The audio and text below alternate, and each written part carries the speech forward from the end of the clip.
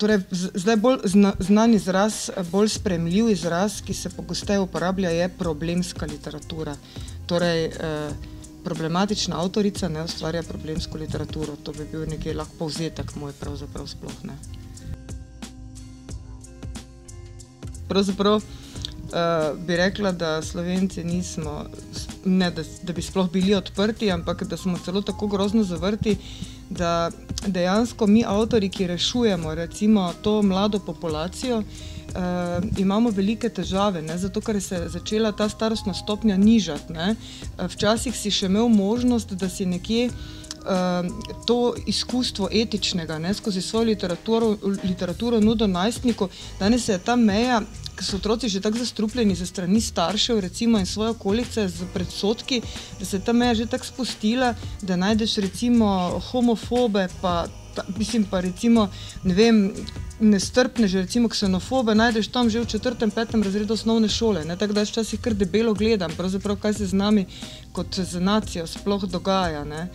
Ampak po eni strani je dobro, da bomo šli čim prej k vragu, zato ker na ta način um, s, s tem, kar furamo, se pravi s to družbo, s to politiko, mislim, da, da dejansko tudi ne moremo preživeti. Ne, ne moremo obstati v, v tej Evropski uniji, ki, ki, ki skratka tudi sami vidimo, kakšno pot ovira. Ne.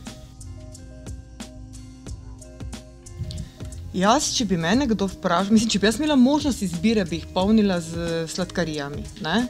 To, ne, čeprav to pravijo, da samo kratko, kratkoročno, ne, da dolgoročno ne drži, ampak meni se zdi, da sladkarije fajn napolnijo človeka, pa z ljubeznijo. Ne, e, s tem, da z ljubeznijo danes malo večji križ kot s sladkarijami. Oboje škodi, sicer ne, ampak jaz se pustim obojemu zastrupiti, koliko se da.